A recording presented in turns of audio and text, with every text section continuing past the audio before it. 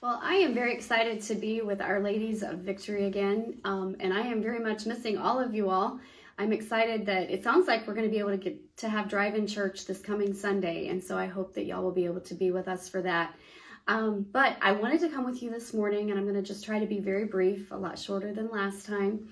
But I wanted to share with you a verse that was actually the first verse that I can remember as claiming when I was a young girl you know, over the years, um, there was different verses that were special to me, but this is one that has stayed with me and been special through the years. But that verse is found in Jeremiah 33, and it's verse number three. And of course, it's our Lord speaking, but he says, Call unto me, and I will answer thee, and show thee great and mighty things which thou knowest not. And as a little girl, I liked the idea that I could talk to the Lord anytime that I wanted and that he would hear me. And at that point in my mind, I thought of all these amazing things that he was going to give to me. And that's what that verse meant to me. Of course, over the years, as time has gone on and hopefully I've matured a little bit, I've realized that it's not always the things that I want or the things that I picture that the Lord is going to give to me, but it's the things that he knows that are really the best for me. And I was reminded of this verse a few years back um, when I was actually reading a tip for parenting. And I don't know if you all that have little children, if y'all are like mine, but I have twins that are eight and they've kind of grown out of the stage for the most part. But I also have a four-year-old, that's Chloe, and then little Kylie Joe is two.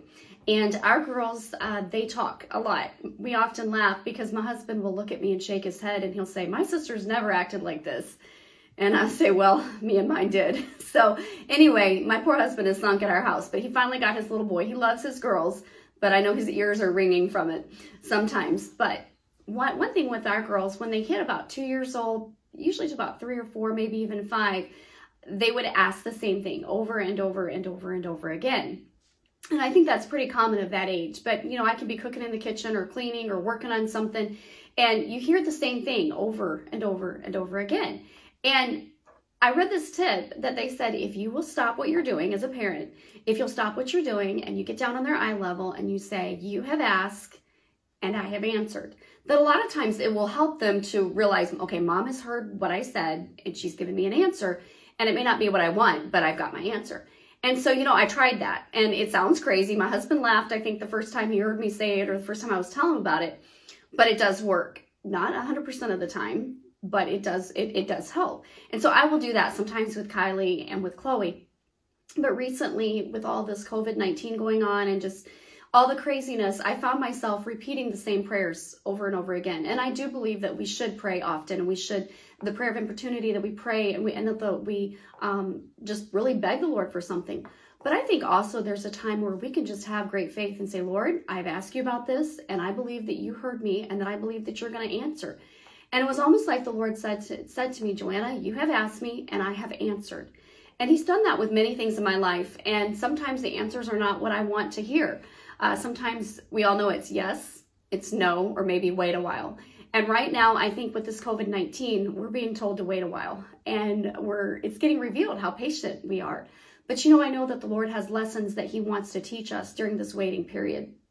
But I, we can have the assurance and we can know that the Lord is not going to be like we are as parents are sometimes. Um, earlier this week, I was grading some papers for Lacey and Savannah, and Kylie was in the sunroom with me, and she was just jabbering up a storm. And apparently, she had been asking me something because finally she came over and she tugged on my arm and she said, Mama, you're not saying mm. You're not saying mm. And so apparently, what I was doing is I wasn't answering her. I was just kind of giving her the mm, like, okay, Chloe I, or Kylie, I hear you. But that the Lord will never do that to us. And he doesn't always give us the answers that we want. Um, I don't like hearing the answer no. But as I look back over my life, I can remember the times that he said no. And I look back now and I know it was for my good. And um, of course, we love the yeses. But often we don't get the yes because what we think we want isn't for our good. And sometimes it's wait a while. And if you're like me, I think that's the hardest one of all because I can deal with a no and move on to my next great idea as I have Lacey and Savannah who they always have some uh, great idea or project they want to they want to do. And when I say no, sometimes they're okay with it. They just move on to the next thing. But sometimes it's okay, let's wait a while.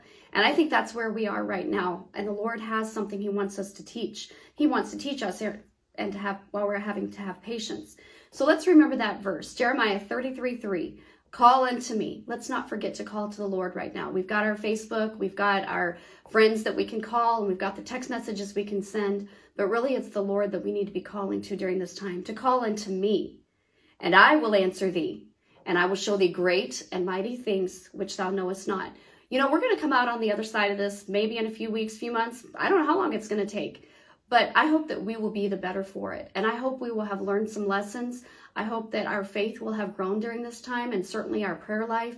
And there will be so many things that we don't take for granted that perhaps we did before. But call unto him today, and he's going to show you great and mighty things that we don't even know about in a greater way than we could ever imagine.